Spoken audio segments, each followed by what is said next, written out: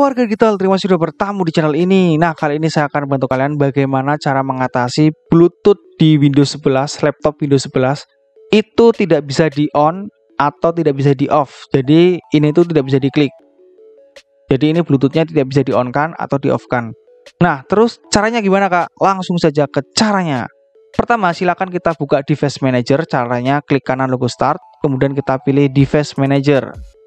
Nah, di device manager ini silakan kita pergi ke menu Bluetooth. Kita klik ini yang Bluetooth. Setelah itu silakan kita klik kanan Realtek Bluetooth. Kemudian kita update driver. Nah, di sini pastikan kalian tersambung dengan jaringan internet ya. Atau jaringan WiFi. Nah, jika sudah tersambung silakan kita klik search automatically for driver dan tunggu hingga proses instalasi selesai.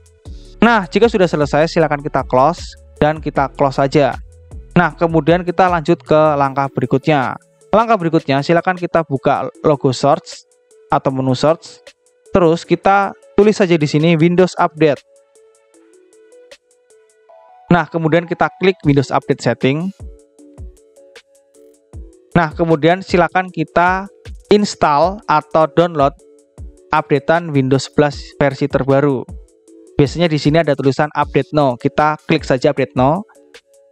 Dan jika sudah selesai, silakan kita close dan kemudian kalian restart laptop kalian. Nah, jika sudah di restart, biasanya Bluetooth kalian itu sudah bisa digunakan.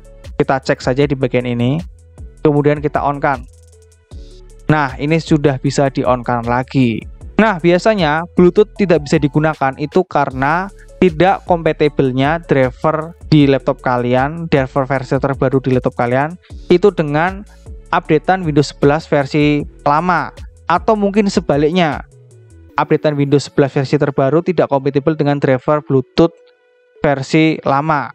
Jadi kalian harus diseimbangkan. Bluetooth drivernya itu harus baru dan updatean Windows 11 juga harus baru seperti itu. Nah, jika kalian terbantu dengan video ini, mohon klik tombol like dan subscribe. Karena dengan like dan subscribe, maka channel ini akan semakin berkembang dan kalian akan terus terbantu dan terhibur dengan video-video selanjutnya. Dan jika kalian itu masih menemukan kendala, silakan kalian tinggalkan komentar di video ini. Terima kasih.